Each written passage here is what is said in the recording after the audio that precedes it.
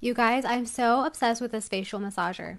It actually delivers microcurrent and sonic pulsations to your muscles from deep within. It helps boost collagen production for firmer and smoother skin. It's super easy to use. Just apply water to your face and turn it on. I can't honestly explain the feeling, but it feels so interesting and tingly, and look how it stimulates my facial muscles.